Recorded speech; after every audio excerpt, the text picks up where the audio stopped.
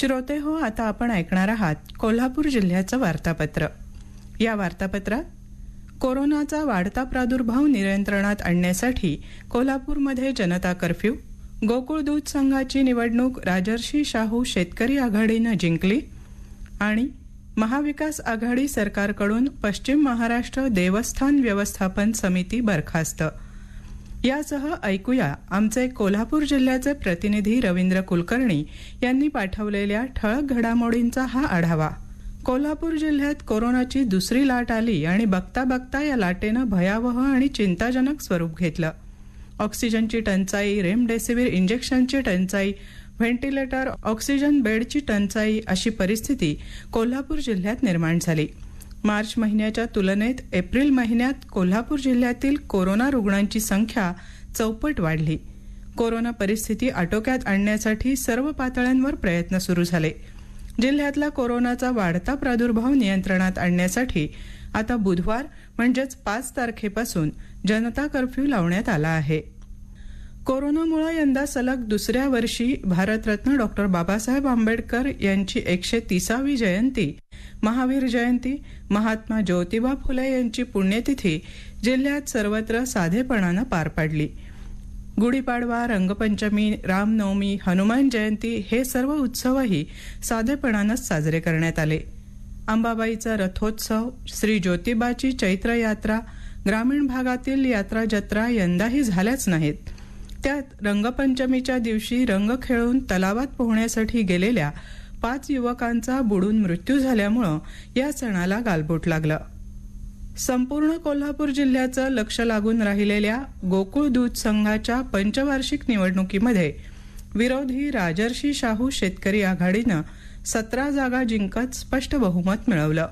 मतमोजणीच्या सुरुवातीपासूनच संपर्कमंत्री सतेज पाटील आणि ग्रामविकास मंत्री हसन मुश्रीफ यांच्या नेतृत्वाखालील राजर्षी शाहू शेतकरी आघाडीनं विजयाची घोडदौड सुरू ठेवली होती.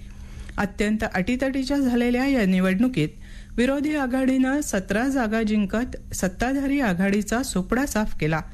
सत्ताधारी आघाडीला केवळ चार जागांवर समाधान मानावं लागलं.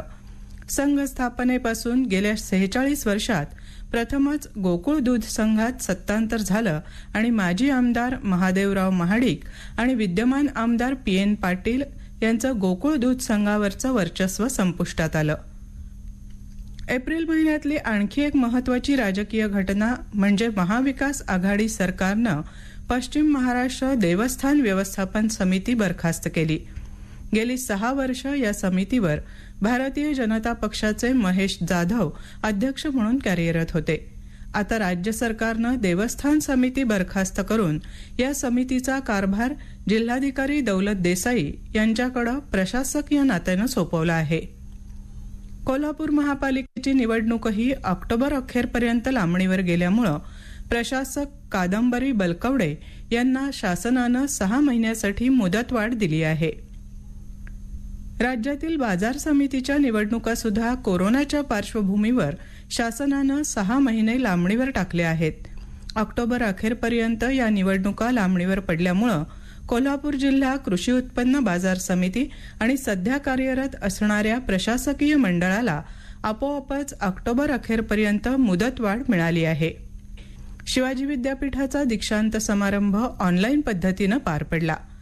याचबरोबर या विद्यापीठाला नॅककडून ए प्लस प्लस हे मानांकन मिळालं आहे. कोल्हापूर जिल्ह्यातील तापमानाचा पारा आता चाळीशीपर्यंत पोचला आहे. अशा परिस्थितीमध्ये एप्रिलच्या शेवटच्या आठवड्यात अवकाळी पाऊस वादळी वारा आणि गारा यांनी जोरदार हजेरी लावली. या पावसानं शेतातल्या भाजीपाला आणि पिकांचं नुकसान झालं आहे. तर श्रोते हो हे होतं कोल्हापूर जिल्ह्याचं वार्तापत्र.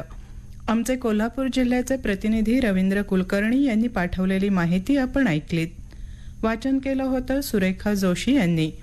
हा कार्यक्रम आकाशवाणी पुणे केंद्राच्या प्रादेशिक वृत्त विभागानं सादर केला.